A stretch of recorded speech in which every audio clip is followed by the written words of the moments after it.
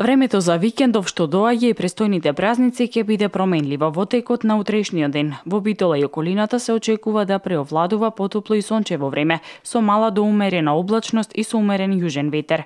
Нови врнежи од дошки има во недела попладне, кои локално ќе бидат и поројни проследени со ретки грмежи. Овие врнежи ќе бидат послаби. Поинтензивни врнежи се очекуваат во понеделник попладне до текот на ноќта кон вторник.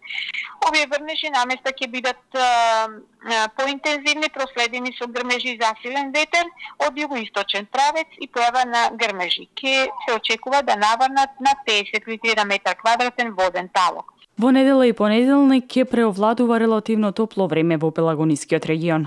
Ова индексот во недела ќе изнесува 5, а во понеделник 4. Во недела ќе дува слаб до умерен ветер од југоисточен правец, а во понеделник умерен до засилен ветер од југоисточен правец.